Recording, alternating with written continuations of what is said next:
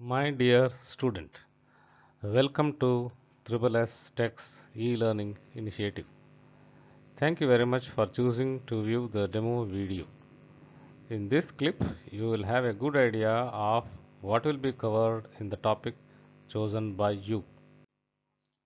My dear student, welcome to Triple S Tech's e-learning initiative.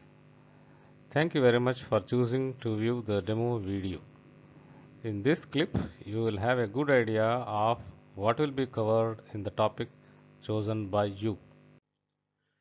You have chosen the topic of validation and substitutions in financial accounting. Validations are issued to validate the data entered in a field.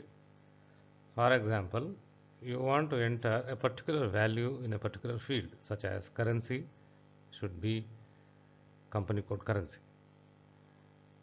Then if you enter a wrong data that is any other currency in the currency field error messages of various types are issued as per your customization. Error message can be warning, cancel, exit or just continue. So these error messages are triggered by your validation settings. Substitutions are issued to substitute the value of a field.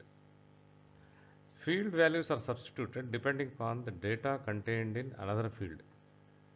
For example, you want to substitute the value of let us say document type or document reference. You can fix in such a way that if you use a particular document type, let us say SA, the reference document or document text should be populated with salary payment. So this is the way the substitutions work. Both validations and substitutions can be defined at header, line item or document level. These are the triggering points.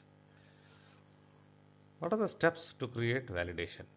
We need to define a prerequisite that tells, okay, given this condition, particular message should come. If given a prerequisite, check whether it is true or false. If it is true, go ahead. If it is false, give a message. That is how the validation is built.